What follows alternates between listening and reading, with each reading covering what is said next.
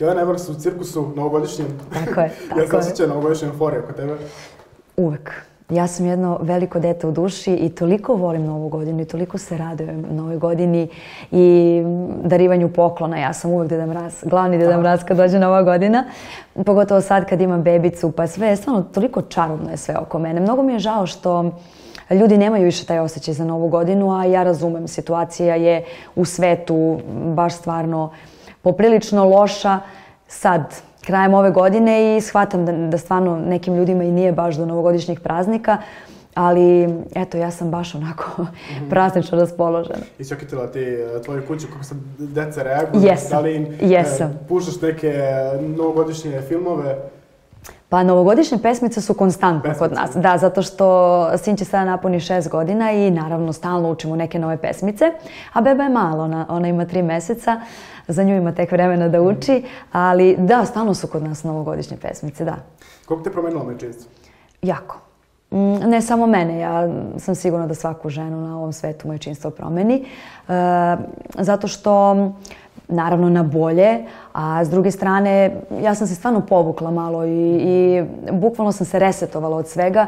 E, ne želim da žurim, da se vraćam na scenu, jer smatram da ima vremena za to i smatram da mora da se zna šta su neke, neki prioriteti u, u našim životima, mi koji se bavimo javnim poslom, odnosno ne razmišljamo svi isto, naravno, nekome je prioritet posao, nekome je prioritet porodica. Ja sam zaista uvek bila na, na toj strani da je porodica ono naše utočište odakle sve kreće. Da ima nekako utisak kao da si postala ozbiljnija malo.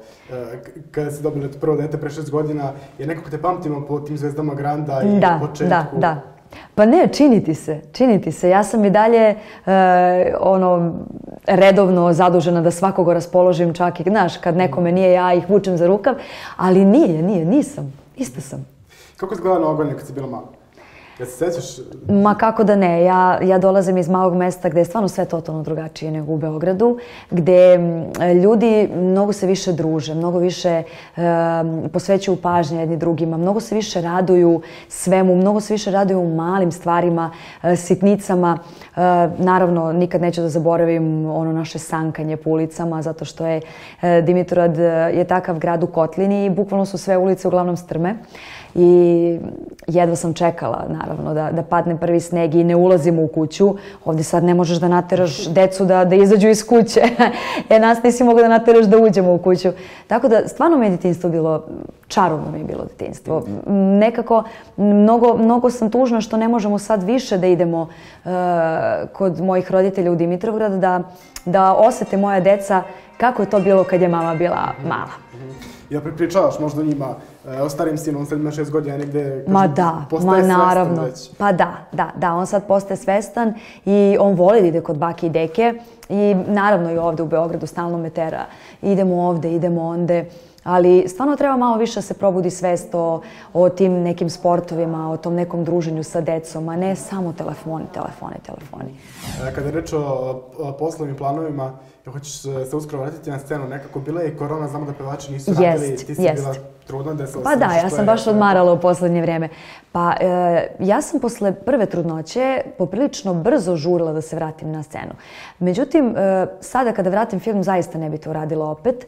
Nekako m, ovaj period dok su mali, e, pogotovo kad je beba i svaki njen pokret, i to stvarno nema cenu i neću da žurim ovaj put da se vraćam, imam spremljene pesme, imam mnogo lepe projekte spremljene i smatram da nemam problem s tim sad, kao ljudi me zaborave, zato što sam ja neko ko radi jako puno i klubove i privatne zabave i mislim da kad imaš dobru pesmu i kada imaš dobar vokal, da prosto nema zime. Tako da sad stvarno neću žuriti. Možda tamo negde pred leto krenem da radim, a do tada planiram stvarno uživam u svakom njihovom Znači, ne, momentu. ne plašiš se da će te negdje ljudi zaboraviti, s obzirom da si napravila veliku pauzu? Pa ne, ne. Ja sam pravila u posljednje vreme poprilično velike pauze i nekako kako god napravim neku pauzu, sve više i više poziva ima me i kad se vraćaš na posao, em, traže te ljudi da, da radiš, jer ja sam stvarno neko ko je sve, sve što je gradio, polako i isključivo gradio svojim radom. I neko sam ko, kad me neko preporuči da, da radim negde, znaju da će to stvarno biti super i znaju da se ja stvarno trudim i ja nikada ne gledam na sat kada idem da pevam i ja nikada ne pitam još koliko ima do kraja. Stvarno volim svoj posao. A ko to radi na estradi? Pa dobro sad, ne znam ko to radi, ja znam ko to ne radi, ja ne radim. A, a kada su ta privatna veselja u pitanju, ili bude tu bakšiša, onako kao što vidimo na Instagramu kod nekih, da lete pare, skupljaju lopata? Pa samo ću reći da to uopšte nije onako kako se predstavlja, ni, ni na Instagramu, ni na. YouTube, pa nije to sve kako što izgleda. Zaista, ima, ima tu milion stvari koje prate sve te neke situacije, ali ja nisam za to hvalisanje parama, kačenje na Instagramu i to, stvarno nisam za to. Jel sećaš možda nekog najvećeg bakšiša? Pa i da se sećam, sigurno ga ne bi rekla koliko je bio. Nešto. A naravno da se sećam, da, da. Skoro sam vidio nešto da Đani pije iz cipele neki alkohol zbog. Znaš šta, njemu je, njemu je sve dozvoljeno. Njemu je sve dozvoljeno. Uh, on je, prosto on je uh, showman. Od Đanija smo navikli da je uvek takav pozitivan. Šta god uradi, Veseljak. veseljak. Šta god uradi, ne možeš da mu zameriš. A, na primer, kada bi ja uradila tako nešto, naišla bi na najgoru moguću osudu. Ja to nikada naravno ne bi uradila, ali kažem ti, njemu je sve, on sve to radi presimpatično. A kada govorimo generalno na estradi, jel postoji ta neka granica ili se radi zbog bakšiša sve? Ono, leže se na pod, e, peva se na podu. Pa samo ću reći da ja stvarno sam protiv svega toga. Ja, ja za to nisam. Znači, možemo da, da pevamo na jedan lep, divan način, baš ne moramo da ležemo na potu. Eto. Kada govorimo o novoj godini, kažu da ovaj, su cene nastupa mnogo veće nego standardne. Je li to Sad baš kad bilo? ja ne radim. Da, baš kad ti ne radiš. To bilo prethodnih godina tako? Pa mi, mislim da nije, ako kažeš da su baš cene Kažu, evo, kao ja Maxiju, sad cene su skočile, dve, dva, tri puta veće nego standardne. Zaista? Da, ja ja. zaista, ja evo sad to prvi put čujem od tebe. Malo sam se uh, resetovala od svega i stvarno nisam upućena uh, ko za koliko peva. Mislim, trenutno koje su cene kojima barataju pevači i menadžeri, ali eto, ako je to toliko puno, možda sam i mogla da radim. Kako sad tvoja deca reaguju na, na, na tvoje hitove? Jel im pušaš sve kad je ovako porodična atmosfera ili nova godina i E, euforija? da li ćeš mi verovati, ja svom sinu nikada nisam pustila ni jednu svoju pesmu. Zašto? Ne znam. E, prvo, ja smatram da su dečica, kad su mala, isključivo treba da slušaju šta je shodno njihovom uzrastu. Znači, dečije pesme. E, I on stvarno sluša samo dečije pesme, a nikada nisam e, da pustim detetu svoje pesme i kažem, e, eto, e, mama. Video je od mene par puta u nekim emisijama i Pritom ja uopšte ni, znaš, ono, sedimo sad i gledamo mamu. Ne. Nego on, mama, evo te na televiziji. Tako da on mam, zna da se mama bavi pevanjem i video me par puta na televiziji, ali sada ja njega opterećujem sa svojim pesmama, ne. Možda je to čudno i čudno je ljudima, on ne zna ni jednu moju pesmu, ali eto nisam, zaista nisam. A kada izađete na ulicu ili ljudi e, reaguju ili žele da se stikaju sa tobom? Pa da, te pozdrave? da, da, da, I Kako da. on reaguje na sve to? Pa njemu je sve to, mislim, dete, znaš, e, sada je da je malo, o, da je malo veći, pa kao, znaš, da on obraća pažnju na to, ali ne obraća on uopšte pažnju na to. Da bi voljela možda da se bave e, estradnim poslom? I da i ne. I da i ne. Ja bih možda i volela, ali tata sigurno ne. Ali kad pogledam, mislim sve kad sumiram, zaista naš posao je prelep. I, i ja smatram da ne postoji lepši posao od našeg e, uvese- uveseljavati ljude, mislim, pesmom, da li ima nešto lepše od toga. Ali isto tako, mnogo odricanja traži posao, zameniš dan za noć. Treba zaista da budeš spreman na sve to. Ali ukoliko budu želeli neko od njih dvoje da se bave pevanjem, apsolutno će im biti podrška u tome. Što ako dovedu u kuću neku reality zvezdu kada budu odrasli? Jo, ko zna šta će do devojku. tada da se dogodi, ko zna šta će sve da se promeni, kakvo vreme ide, ja ne znam šta će biti za, za 10-15 godina. Iskreno malo me plaši kuda ide sve ovo u nekom nenormalnom pravcu, ali a, znaš šta, E, roditelji su tu uvek da prihvate i da podrže sve. E, Jeste da pričaju roditelji, ja neću ovo, ja neću ono, ali na kraju kad se nađeš u nekoj situaciji u kojoj nisi želeo, opet podlegneš toj situaciji. Zarad svoje dece mislim da ljudi mnogo toga trpe i šta im se dopada i šta im se ne dopada. Da, evo negdje se vratimo na, na tvoju karijeru. Počela si u Zvezdama Granda. Da. Da je sećaš nekog perioda, uh, kako to je bilo to neko druženje, negde izgubilo je se to neko druženje Pa da, ja, ja mislim da smo mi e, poslednja generacija uh, koji smo imali tu turneju koja je trajala skoro godinu dana i bilo je nezaboravno i bilo je tako dobro i tako zanimljivo i svi smo se družili, uh, nijednog trenutka sujete, ogovaranja, ma, bukvalno smo svi bili ko jedno. Znam da zvuči neverovatno kada sve to pričam, ali to je živa istina. Mi smo imali te koncerte po trgovima, po najvećim klubovima. I uh, kada vratim film, uh, zaista je uh, toliko bilo divno da požela bi svim ovim takmičarima da, da osete tu, tu čar, to kada bukvalno svi za jednog, jedan za sve. -hmm. Toga sad mislim da nema. Znam da se svi bore da, da uspeju i da svi budu najbolji, ali mi u tom trenutku tako nismo razmišljali uopšte. E, Darko Lazić se u samom startu izdvojio od svih, naravno, i toliko smo svi bili srećni zbog njega, zaista.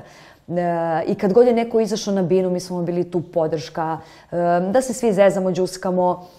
I čini mi se stvarno da je naša generacija bila ta koja je obeležila to i one čuvene crvene stolice. Ide da. dalje, ide dalje. Da, da, da. I naravno, krcata arena. Mislim da, da su bile tri arene da bi sve tri bile pune. Ja sam prvi put izašla pred 20.000 ljudi uh, i ne mogu da opišem taj osjećaj. Mislim, do pre godinu dana pevala sam isključivo dole u mom kraju i okolina. A odjedan put se nalaziš u areni pred tolikim brojem ljudi i svestan si da plus koliko miliona ljudi prati u tom trenutku, I zaista od tog, od tog dana bukvalno se svima nama život promenio za 360 stepeni. Je li se vratila u taj period? Pa... Jer bilo pa, je to malo i stresa? E, pa bilo je stresa, sa, naravno bilo je stresa. Dolaziš iz malog mesta ovde gde bukvalno je sve ludilo. A, onda svake, svake nedelje je takmičenje bilo, ne kao sada, nego bilo je samo nas e, koliko 35 koji smo od septembra počeli da se takmičimo -hmm. i nas 12 koji smo ušli u finale. Onda si bukvalno svake subote to je garderoba, to je šminka, to je ceo tim oko nas koji, koji je tada radio. Mm. I jeste bilo stresno, ali više lepo nego stresno. Mm. Malo pre spomenuo Darka Lazića i si pratila sad ovu situaciju, kaže treći put se oženio, neće stati dok ne oženi sve žene.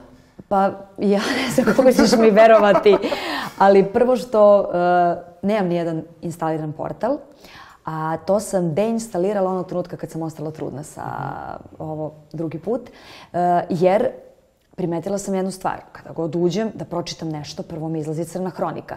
Nisam žela više se mračim i malo, uh, u stvari ne malo, nego uh, totalno sam distancirana od svega. Ja nisam upućena, mene je nekad sramota koliko nisam upućena. Znaš kad dođe mi neko pa krenemo u neki razgovor, mm. ja mhm. nisam upućena u neke krupne stvari koje se dešavaju.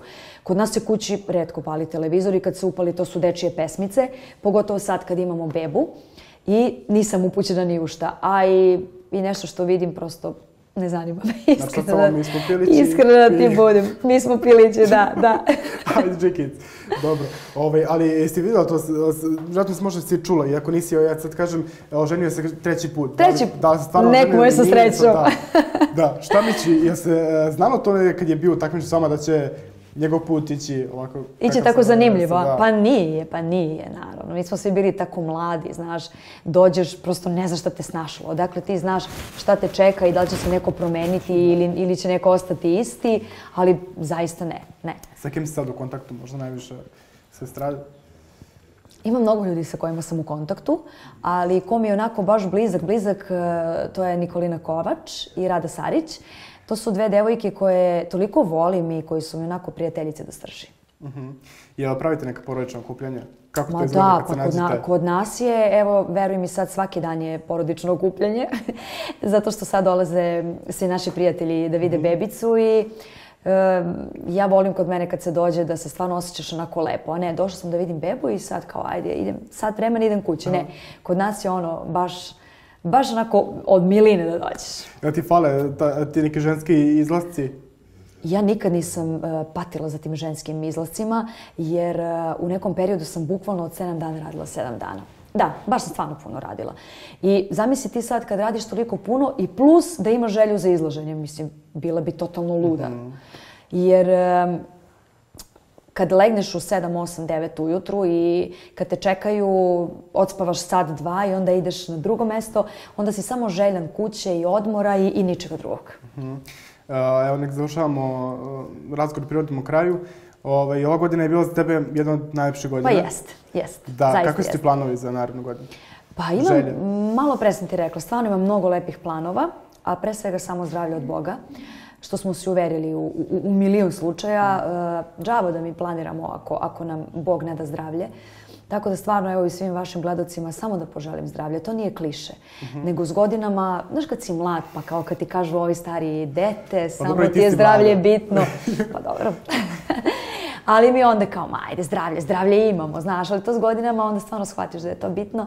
Imam mhm. mnogo lepih planova za sljedeću godinu i... Vraćaš se na scenu? Da, da, da, da, da, da. Pa muzika je moja stvarno velika mhm. ljubav i bilo bi tužno kada bi se odrekla, kada bi se odrekla muzike. Ja biste imala sad neki duet sa Nućijem, Breskvicom, Vojažem? Što da ne? Ma što da ne, što da ne. apsolutno ne bežim od toga, prosto to vole mladi i to je sada u trendu i to je super. ima toliko divnih pesama, bi. Da. da. Nastupaju sad na trgu, e, Nući i Vojaž. Ovde, u Ove godine, da. Eto, i to si mi sada rekao. Pa ti si me generalno uputio u mnogo lepih stvari. I, e, ali to su negdje e, dočekali na nož, aj tako kažem estrada. To čekala Zašto? Zato što su previše mladi ili ne, nemaju toliko puno hitova, nemaju godine Dobro, ali ljudi ih vole, ljudi ih vole, ljudi ih vole.